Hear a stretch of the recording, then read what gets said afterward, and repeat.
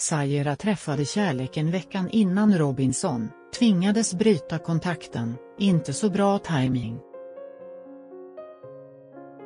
Sayera Khan träffade sin nya kärlek bara en och en halv vecka innan hon skulle spela in Robinson. Förhänt berättar hon nu om hur relationen påverkades av att hon försvann utan att kunna ha någon kontakt med den andra personen. Det var inte så bra timing att börja dejta för jag skulle vara borta på okänd tid, säger hon.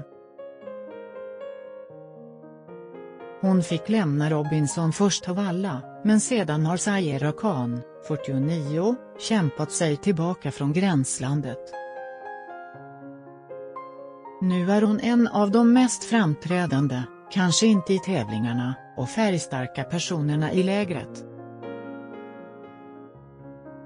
Hon har varit öppen med delar av sitt privatliv tidigare då hon berättat om sjukdomen som gjort att hon tappat hår.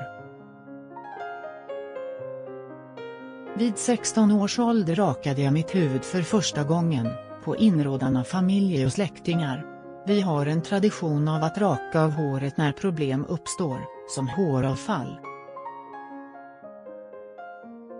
Min familj och mina släktingar trodde att det kunde hjälpa mot klådan och leendet.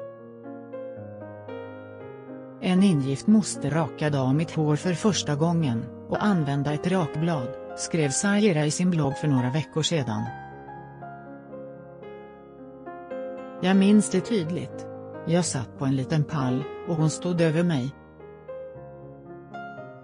Hon klippte metodiskt i flera timmar tills hon nådde hårbotten, och började sedan raka mitt huvud utan att försöka skada hårbotten. Men utslagen som orsakades av klådan var över hela huvudet. Och det blödde, fortsatte hon. Hon har i vuxen ålder fått diagnosen androgenetisk alopeci, så kallat kvinnligt håravfall. Tvingades isär direkt. Nu berättar hon även om sitt kärleksliv.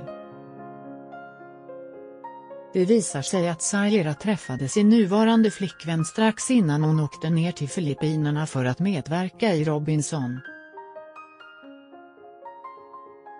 Jag berättade för henne att nästa vecka ska jag åka till Robinson, så det var inte så bra timing att börja dejta för jag skulle vara borta på okänd tid. Vi hann bara träffas i en och en halv vecka innan jag flög iväg, så det var ju dramatiskt. Man bara gick vad ska hända nu? Säger hon till Hänt. Just som hon fattat tycke för kvinnan i fråga tvingades hon helt plötsligt istället att bryta kontakten med henne, om än tillfälligt. Jag vill dejta henne.